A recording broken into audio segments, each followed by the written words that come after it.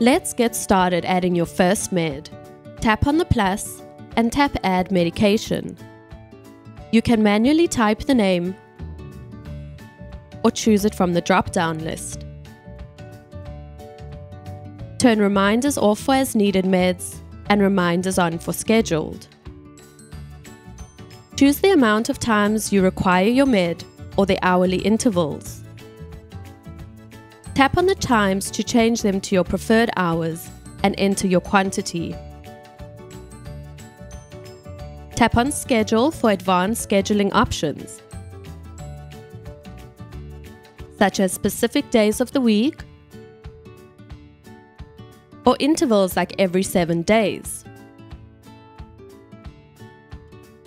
Tap More options to add your dosage, instructions, refill reminders, and your doctor, and then tap Done. You will then see your pills in your pill box. To edit or delete your med, tap on your side menu and tap Medications. Tap on the med and tap the pencil icon. You can then edit your medication and tap Done to update it. Or you can tap on the trash can icon to delete your med and choose to keep or delete the history.